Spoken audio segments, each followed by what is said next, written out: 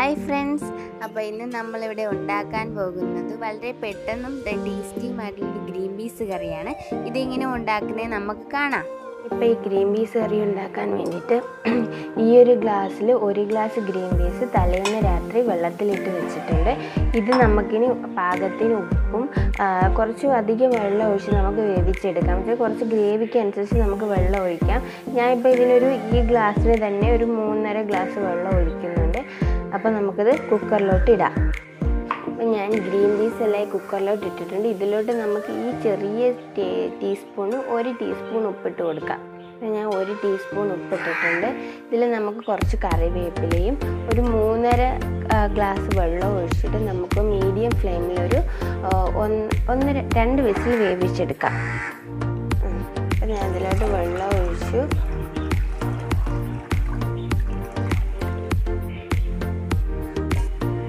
ഇനി ഇതിലോട്ട് കുറച്ച് കറിവേപ്പിലയും ഇട്ടിട്ട് നമുക്ക് നന്നായിട്ട് മിക്സ് ചെയ്ത് കൊടുത്തിട്ട് തീ ഓൺ ചെയ്ത് നമുക്കൊരു മീഡിയം ടു ലോ ഫ്ലെയിമിൽ രണ്ട് മിനിറ്റ് രണ്ട് വിസിൽ വരെ നമുക്കൊന്ന് വേവിച്ചെടുക്കാം.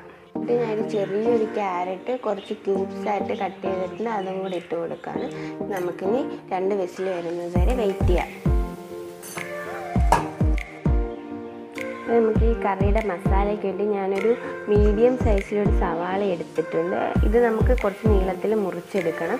ഈ ഒരു സവാള ചെറുതാണെങ്കിൽ രണ്ടെണ്ണം എടുക്കാം. ഈ ഒരു അളവാണെങ്കിൽ നമുക്ക് ഈ ഒരു ഈ ഒരു ഗ്ലാസ് എടുക്കുമ്പോഴത്തേക്കും അതിന് ഈ ഒരു സവാള മതിയാകും. പിന്നെ കുറച്ച് കറിവേപ്പില എടുത്തിട്ടുണ്ട്. പിന്നെ നമ്മൾ ഒരു ചെറിയ പീസ് കുറച്ച് ഇഞ്ചി ഒരു ഏഴെട്ട് ചെറിയ വെളുത്തുള്ളി ഒരു ചെറിയ തക്കാളി പിന്നെ ഒരു പച്ചമുളക്. പച്ചമുളക് ഒരെണ്ണം മതിയാണ് നമ്മൾ ഇതിലോട്ട് മുളക് പൊടിയും കുരുമുളക് പൊടിയൊക്കെ ചേർക്കുന്നത് ഒരെണ്ണം മതിയാണ് അപ്പോൾ ഇത് നമുക്ക് ചെറുതായിട്ട് അരി ഈ സവാളയും ഇതൊക്കെ അരിഞ്ഞെടുക്കണം. പിന്നെ ഇഞ്ചി വെളുത്തുള്ളി നമുക്ക് ചെറുതായിട്ടൊന്ന് ചതച്ചു എടുക്കണം. ചതച്ചു എടുത്ത് അരിഞ്ഞിട്ടും വരാം. ുള്ള മസാല ഉണ്ടാക്കാൻ വേണ്ടി ഞാനൊരു കടായി വെച്ചിട്ടുണ്ട്. അത് ചൂടായി നമുക്കിതിലോട്ടൊരു രണ്ട് രണ്ടര ടേബിൾ സ്പൂൺ വെളിച്ചെണ്ണ നമുക്ക് ഒഴിച്ചു കൊടുക്കാം. വെളിച്ചെണ്ണ ചൂടാകുമ്പോഴത്തേക്ക് നമുക്കിതിലോട്ടൊരു അര ടീസ്പൂൺ കടുകും കുറച്ച് വറ്റൽമുളകും കറിവേപ്പിലയും ഇട്ട് താളിച്ചതിന് ശേഷം നമുക്ക് ഈ കറി വെക്കാം. അപ്പോൾ എണ്ണ ഒരുവിധം ചൂടായിട്ടുണ്ട്. ഇതിലോട്ട് നമുക്ക് അര ടീസ്പൂൺ കടുക് ഇട്ട് കൊടുക്കാം. കടുകൊക്കെ പൊട്ടി തുടങ്ങിയിട്ടുണ്ട്. ഇനി ഇതിലോട്ട് നമുക്ക് ഞാനൊരു മൂന്ന് വറ്റൽ മുളക് രണ്ടായിട്ട് മുറിച്ച് വെച്ചിട്ടുണ്ട്. അതിട്ട് കൊടുക്കാം. ഈ വറ്റൽ വറ്റൽമുളകൊക്കെ ചേർത്ത് നമ്മൾ കറിക്കൊരു ഭംഗിക്ക് വേണ്ടിയിട്ടാണ് ഇത് ചേർക്കുന്നത് കടുകൊക്കെ പൊട്ടി കഴിഞ്ഞ് ഞാൻ വറ്റൽമുളക് ഇടുകയാണ്. അതിന്റെ കൂടെ തന്നെ ഈ തീ നമുക്കൊരു മീഡിയം ഫ്ലെയിമിലോട്ടാക്കാം തീ ഇപ്പം ഞാനൊരു മീഡിയം ഫ്ലെയിമിലോട്ടാക്കിയിട്ടുണ്ട് ഇനി ഇതിലോട്ട് നമ്മൾ അരിഞ്ഞു വെച്ചിരിക്കുന്ന സവാള ആ ഒരെണ്ണം നീളത്തിൽ മുറിച്ച് വെച്ചിട്ടുണ്ട്. അത് പച്ചമുളക്. അപ്പോൾ നമ്മൾ ഇതിന് ഇട്ടിട്ടുണ്ട്. ഇനി ഇതിലോട്ട് നമുക്കൊരു നമ്മൾ ഒരു ടീസ്പൂൺ ഉപ്പ് നമ്മൾ ഗ്രീൻ പീസ് ഇട്ടിട്ടുണ്ട്. അപ്പോൾ നമുക്കൊരു അര ടീസ്പൂൺ ഇട്ട് കൊടുക്കാം. പിന്നെ നമുക്ക് വേണമെങ്കിൽ ചേർക്കാം. അപ്പോൾ ഇതിലോട്ടൊരു അര ടീസ്പൂൺ ഉപ്പും കൂടെ ചേർത്തിട്ട് നന്നായിട്ട് വഴറ്റിയെടുക്കാം. അതെ ഇത്ര ഉപ്പ് ഞാൻ ഇട്ടിട്ടുണ്ട്. ഇനി നമുക്ക് നന്നായിട്ട് വഴറ്റിയെടുക്കാം ഇതൊരു ചെറുതായിട്ട് കളർ മാറണം. ഇതൊരു ചെറിയ കളർ മാറി തുടങ്ങും. നമുക്ക് ഇതിലോട്ട് ഇഞ്ചി വെളുത്തുള്ളി ചതച്ചത് ചേർക്കാം. ഇതൊരു ചെറുതായിട്ടൊന്ന് വഴണ്ട് വന്നിട്ടുണ്ട്. ഇനി ഇതിലോട്ട് നമ്മൾ ചതച്ച് വെച്ചിരിക്കുന്ന ജിഞ്ചർ ഗാർലിക് പേസ്റ്റ് ഇഞ്ചി വെളുത്തുള്ളി ചേർത്ത് കൊടുക്കാം. കുറച്ച് മതി. ഇതിന് ഒരുപാട് ഫ്ലേവർ വേണ്ട. കുറച്ച് മതി. ഇതൊരു ഒരു ചെറിയ ടീസ്പൂൺ കാണും. ഇത്രയും മതിയാവും നമുക്ക്.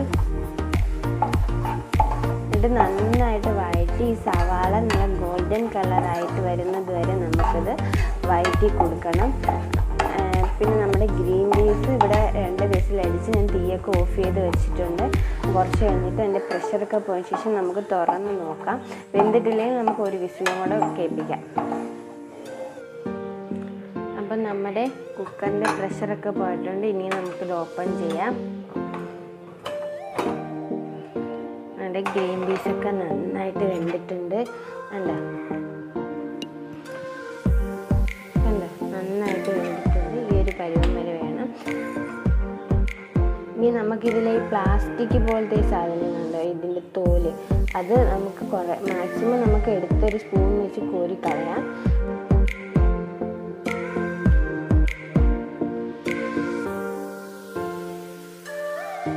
സവാളയൊക്കെ ഏകദേശം ബ്രൗൺ കളറായിട്ടുണ്ട് ഇനി നമുക്ക് ഇതിലോട്ട് പൊടികൾ ചേർക്കാം. സവാളയൊക്കെ ഈ ഒരു കളറായി വരണം. ഈ ഒരു ബ്രൗൺ കളറായി വരണം. ആയിട്ടുണ്ട് നമുക്ക് ഇതിലോട്ട് ഒരു ടേബിൾ സ്പൂൺ തീ കുറച്ച് ലോ ഫ്ലെയിമിലാക്കണം. എന്നിട്ട് പൊടികൾ ചേർക്കാവും. ഈ ഒരു ഒരു ടീസ്പൂൺ മുളക് പൊടി ഞാൻ ചേർത്തിട്ടുണ്ട്. ഇത് കാശ്മീരി റെഡ് ചില്ലിയാണ് ഉപയോഗിച്ചേക്കുന്നത്. നിങ്ങളുടെ മറ്റേ മുളക് എരിവുള്ള മുളക് പൊടിയാണെങ്കിൽ അതൊരു മുക്കാൽ ടീസ്പൂൺ ചേർത്തോളൂ. ഇനി നമുക്കിതിലോട്ട് ഒരു ഇപ്പോൾ ഒരു ഒന്നേകാൽ ടീസ്പൂൺ മല്ലിപ്പൊടിയും ഒരു കാൽ ടീസ്പൂൺ മഞ്ഞൾപ്പൊടിയും. പച്ചമണം മാറുന്നത് വരെ നമുക്കിതൊന്ന് വഴറ്റി കൊടുക്കാം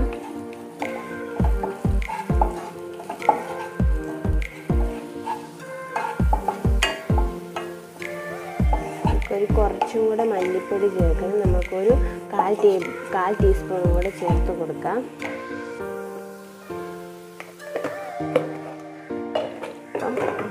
ഒന്നര ടീസ്പൂൺ മല്ലിപ്പൊടിയും ഒരു ടീസ്പൂൺ മുളക് പൊടിയും കാൽ ടീസ്പൂൺ മഞ്ഞൾപ്പൊടിയും ചേർത്തിട്ടുണ്ട്. ഇതിന്റെ പച്ച മണം മാറിയതിന് ശേഷം നമ്മൾ എടുത്തു വച്ചിട്ടുള്ള തക്കാളി ചേർക്കാം.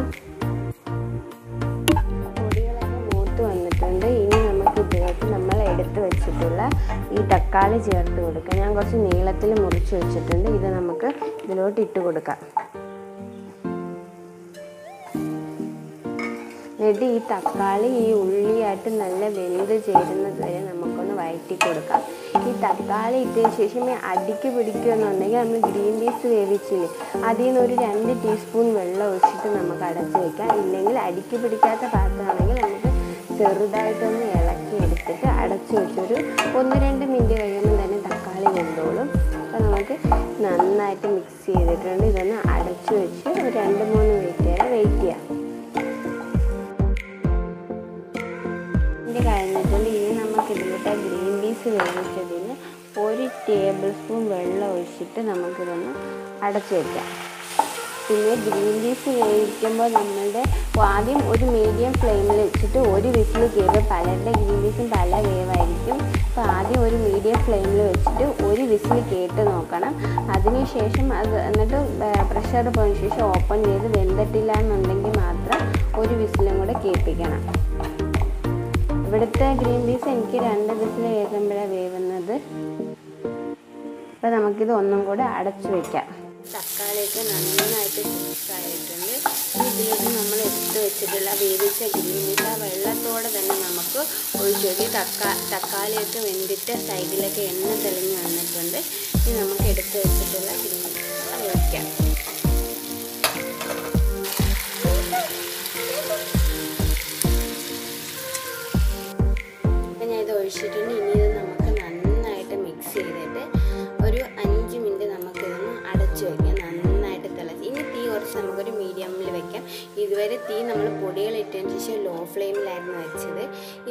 ഇനി ഒരു മീഡിയത്തിലോട്ട് മാറ്റിയിട്ട് അടച്ചു വെക്കാം.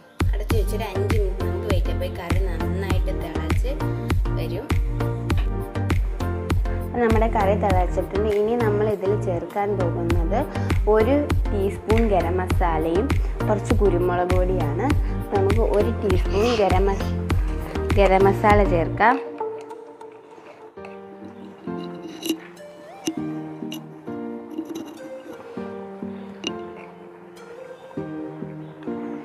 ഗരം മസാല ചേർത്ത് നമുക്ക് നന്നായിട്ട് മിക്സ് ചെയ്ത് കൊടുക്കാം. അപ്പോൾ ഈ കറിയിൽ ഇപ്പം കുറച്ച് ഗ്രേവി പോലെ തോന്നുന്നുണ്ട്. പക്ഷേ ഇത് ഇരിക്കും തോറും നന്നായിട്ട് കുറുകും. നമുക്ക് കഴിക്കുമ്പം കുറച്ച് ഗ്രേവി പോലെ വേണമെങ്കിൽ നമുക്ക് ഈ ഒരു അളവിൽ ഓഫ് ചെയ്യാം. കുറച്ച് കുരുമുളക് പൊടി ചേർത്തിട്ട് ഇല്ലെങ്കിൽ നമുക്ക് കുറച്ച് നേരം കൂടെ ആകുമ്പോഴത്തേക്ക് കുറച്ചും കൂടെ ഗ്രേവി ഒന്ന് കുറുകി വരും. ആ സമയത്ത് നമുക്ക് ഓഫ് ചെയ്യാം.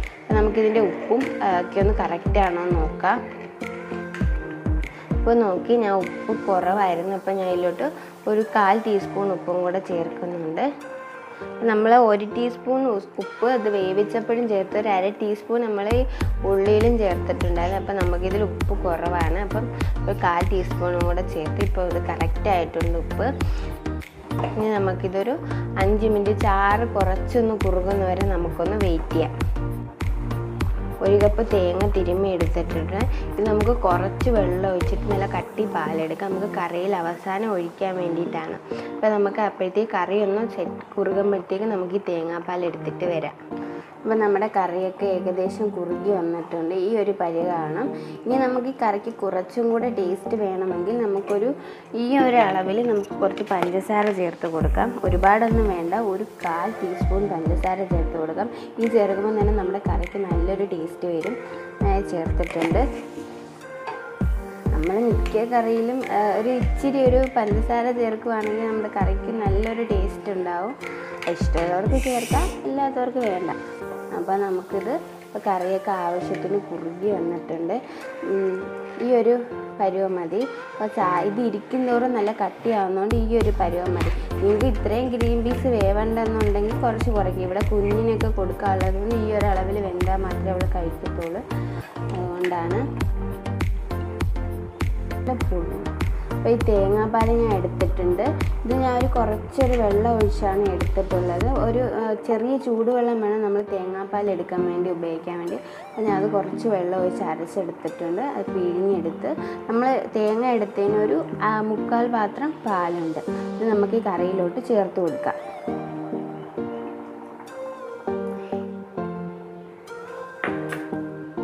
ഒരുപാട് തേങ്ങാപ്പാൽ വേണ്ട. തേങ്ങാപ്പാൽ ഒഴിച്ചാൽ നമുക്ക് അധികം കട്ടി അധികം കട്ടിപ്പാലല്ല ഒരിത്തിരി വെള്ളം ഒഴിച്ചിട്ടാണ് അരച്ചത്. അപ്പം അധികം അങ്ങനെ തിളപ്പിക്കേണ്ട ഒരുപാട് തിളപ്പിക്കേണ്ട.